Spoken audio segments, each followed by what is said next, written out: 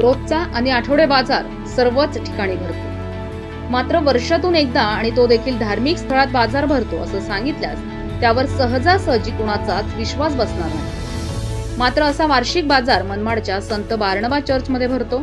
वर्षाचं पहिलं पीक देवाला अर्पण करण्यासाठी नाताळ सण साजरा करण्याआधी नोव्हेंबर महिन्याच्या दुसऱ्या आठवड्यात हा बाजार भरवून ख्रिश्चन बांधव हंगाम सण म्हणून साजरा करतात. या सणाची गेल्या अनेक वर्षांची परंपरा आहे. चर्चच्या आवारात भरवण्यात आलेल्या या बाजारात कोंबडीपासून बोकडपर्यंत भाजीपाला धान्य खाद्यपदार्थांसह मोठ्या प्रमाणात सर्वच प्रकारची दुकानं लागलेली असतात.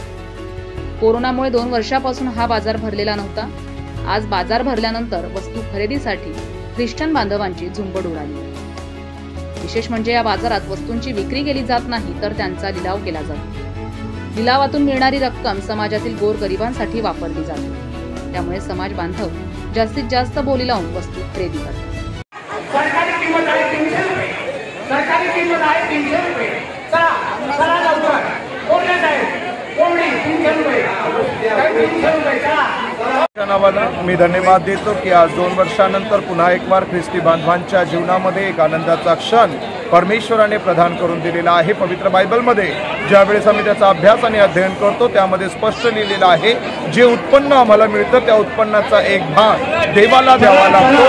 देवाला देत असताना गोरगरिबांना द्यावा लागतो गरजवंतांना द्यावा लागतं. आणि आज आमच्या मंडळीमध्ये संत बारनाबा देवालय मनमाडच्याद्वारे ही ॲक्टिव्हिटीज आम्ही करीत आहोत. हा एक छोटासा मेळावा आहे. याद्वारे फक्त आणि फक्त देवाचं गौरव होत असतं. अर्थातच प्रभू यशू ख्रिस्त ज्यावेळेस येईल त्यावेळेस आम्ही उभे राहणार आहोत.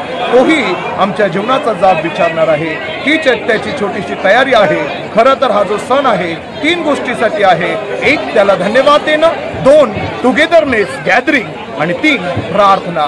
या तिन्ही गोष्टी आज आम्ही केल्या.